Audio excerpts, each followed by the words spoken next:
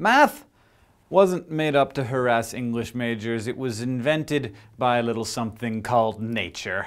And it's everywhere you look. In fact, there are specific numbers that we see in nature all the time. Together, they're called the Fibonacci sequence, and it goes something like this 1, 1, 2, 3, 5, 8, 13, 21, 34, 55. You may know this pattern. The first and the second add up to the third, and the second and the third add up to the fourth, and the fourth and the fifth add up to the sixth, and so on. The sequence was first described by mathematicians in India about 1300 years ago, and it was introduced to the West in 1202 by Leonardo of Pisa, aka Fibonacci, who is also responsible for introducing Arabic numerals to Europe, which, yeah, if he hadn't done that, we'd still be counting in Roman numerals, which would be terrible. Fibonacci was a mathematician, and in his book Liber Abaci, he described this sequence with a thought experiment about a family of incestuous bunnies. If you put one boy bunny and one girl bunny together, that's two, and those two together will make a third. And those three, when they're done, you know, taking turns, will make five, etc. But the easiest place to find these numbers in nature isn't in bunnies,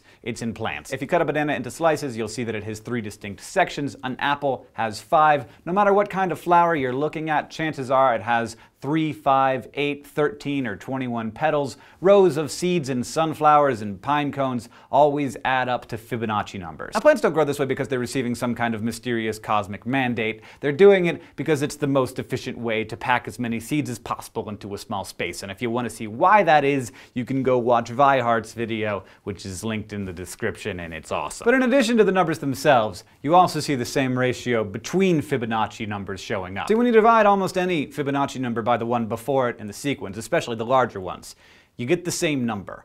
1.618 dot dot dot, well, lots of numbers. The Greeks discovered this long before Fibonacci, and they called it phi. Today, it's sometimes known as the golden ratio. Phi was purportedly used by the ancient Greek sculptor Phidias to illustrate the idea of physical perfection. He's said to have used phi as a ratio between a statue's total height and the distance from the bottom of its feet to its navel, for instance, and also the length of a face divided by its width. There's a whole other set of patterns in nature that are based on what's called the golden rectangle rectangle. A rectangle whose side lengths are successive Fibonacci numbers like 8 by 13. This rectangle can be divided up into a series of squares whose lengths are also successive Fibonacci numbers, in this case 1 by 1, 2 by 2, 3 by 3, 5 by 5, and 8 by 8. When you draw an arc from one corner of each square to the other, they join to form a spiral that resembles many of the spirals we observe in nature. From the unfolding leaves of a desert succulent to the arrangement of those pine cone lobes and sunflower seeds and the shells of some snails. The math, you guys it can be beautiful too. Thanks for watching this episode of SciShow. If you would like to get in touch with us, leave suggestions or ideas,